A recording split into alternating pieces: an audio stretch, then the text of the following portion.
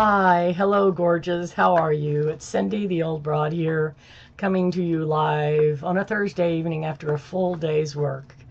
Makeup not looking its best, but I wanted to do this tag, this guilty pleasures tag. Uh, several people have done it and uh, just given a blanket, hey, everybody who watches do it. And I've not done a tag before, so I think it's time. So here we go with the guilty pleasures. Number one, TV show you love but should not confess to. Mm, I have three or four of them. Um, I'm very fond of um, uh, the Housewives franchise. Um, in my case, I watched the Real Housewives of Orange County and uh, the Real Housewives of New York City. Although since Jill Zarin left, I it's hardly worth watching, but I hang in there hoping maybe they'll get her back someday. They probably won't. Um, I also uh, used to watch a show called Sister Wives. I just don't watch it too much anymore. I don't have time. Uh, but it was about um, some women who are members of the, I guess it's called Latter day Saints Fundamentalist Church. Um, and uh, it's one man, and I think he's got four or five wives.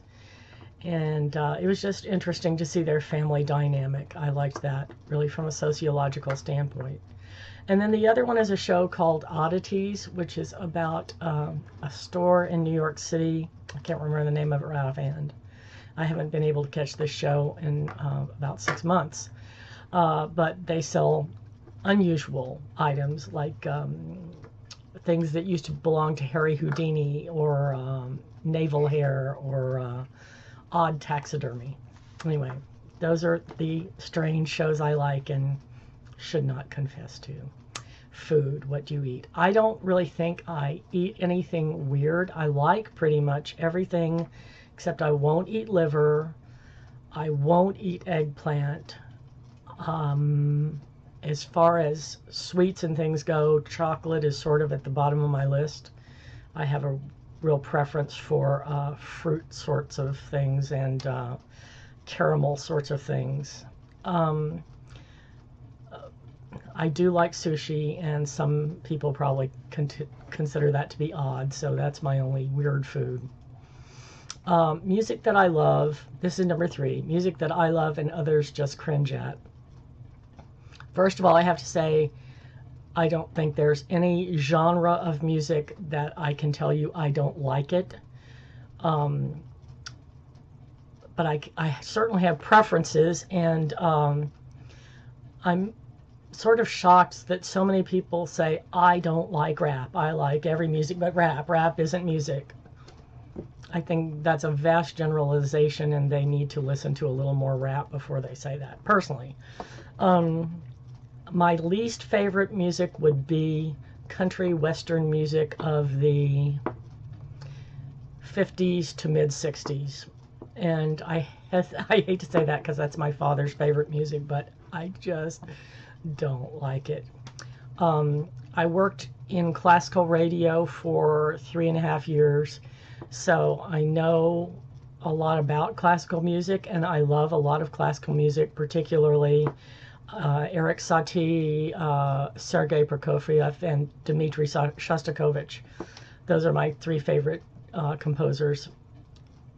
And, but my very, very favorite, favorite music of all is um, jazz of the 1920s, 30s, and maybe the first half of the 40s. That is my absolute favorite music, hands down. And I don't know if others cringe at it or not. I just love it. Okay, uh, number four, my guilty online habit.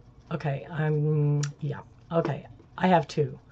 One, which I don't practice anymore. Um, I used to play an online game called Second Life, and as I understand it, the makers of this game just sort of put the game platform out there and told the users, okay, you make the game and uh, like many online games, I guess it's composed of various sims.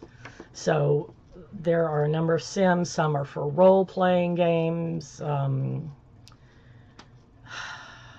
some are like where you dress up in costume and pretend to be different characters. But by and large, the users of this game created another life, and hence the name Second Life, so that if you, a player, go onto this game, you have a little avatar that you can make look any way you want to.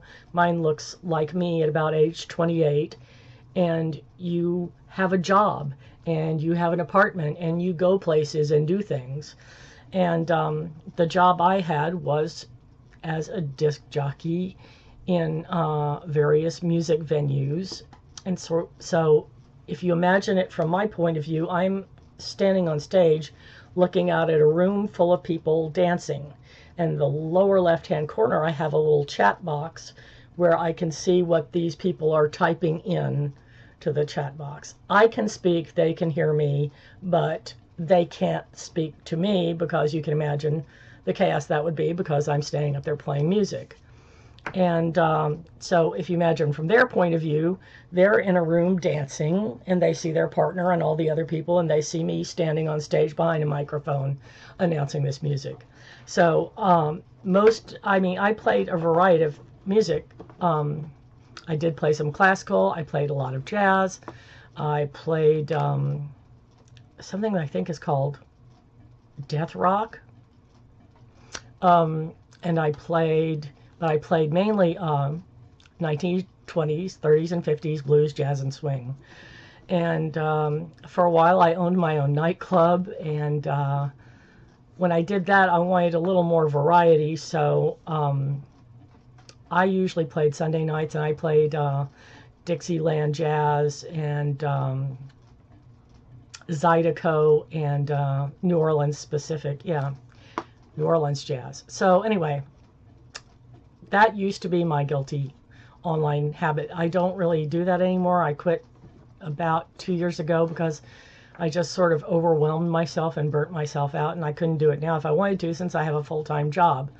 But uh, my guilty habit now, I would say, is YouTube and mainly uh, watching Bunny Meyer, uh, otherwise known as Graveyard Girl. Um, she's got years of videos that I've only begun to watch, and I enjoy her enormously. She's uh, a native of Houston or Pearland, just outside of Houston, and I'm a native Houstonian, and I mean Houston, Texas. And Bunny just reminds me of everything that's wonderful about Houston, Texas. She's a joy and a delight, and if you've not watched her, please do. Uh, what I love to wear but shouldn't in my case, it's not a clothing article. I think I pretty much dress age appropriate, but it's this. The ponytail. I am really hair challenged, and as you will have observed watching my videos, either my hair is down straight, or it's in a ponytail, or I'll um, take this thing and put it on top of my head. Now, obviously, that's when I'm at home. And I'm just really tempted to just cut it all off if I could find um, some sort of hairstyle that short that would be easy to maintain because I'm a hair doofus even when my hair is short. So, any suggestions? Feel free. Okay, movie I should not love so much, but I do. This is number six. I kind of, I don't really like this question because, I mean, according to who I shouldn't like it. Um, two of my favorite movies are Vertigo, which is uh, Hitchcock, in which Jimmy Stewart plays a man obsessed with a woman who he thinks is dead. And um, my other favorite is The Talented Mr. Ripley, which the novel by Patricia Highsmith was one of the first novels to feature an anti hero. And um, in this particular movie, um, well, it's really worked. It's really worked. Uh, it's about a murderer, but he's the hero. So uh, I do like, I mean, I love pretty much everything except espionage and westerns, but uh, I do mainly like um, psychological suspense or dramas or love stories or comedies.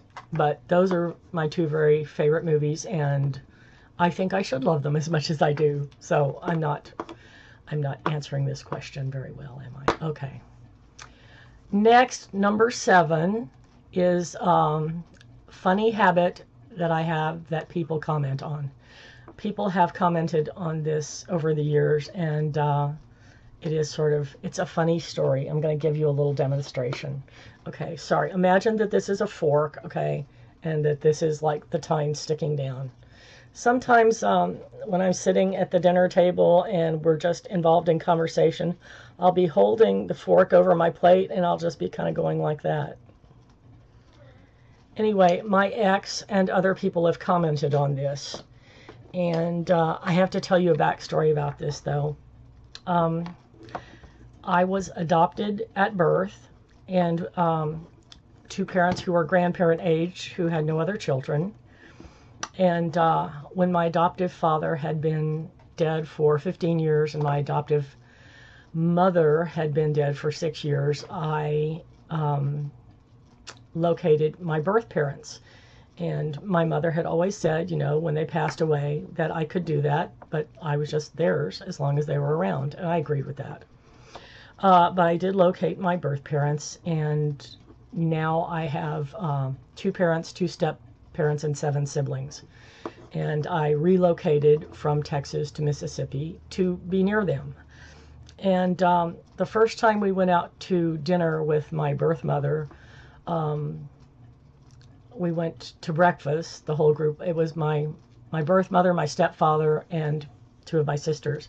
And we were sitting at uh, breakfast at, I guess it was one of these Shoney's places. And uh, my ex husband looked over uh, across the table, and my birth mother was sitting there doing this with her fork over her plate. And he shrieked, just shrieked at the top of his lungs, Look at the fork! So I just thought you'd find that funny. Uh, it's a funny habit, but apparently it runs in families. It's genetic. Okay, and last but not least, number eight, makeup look that I love but is just so wrong. And at this point, I want to say, Kathy A., look away. Look away.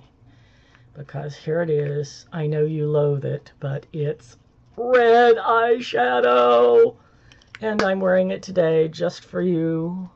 I'm not going to pull in too close because I'm having a real dry thing going on around my eyes and it's scary for me and if it's scary for me it would be horrifying for you. Okay, that's it. That's my guilty pleasures. Hope you enjoyed. Um, I'll be back with you, you know, in a week or a couple days with something else wonderful. Oh, almost forgot before I go. I wanted to say a happy Easter to all of you out there who celebrate.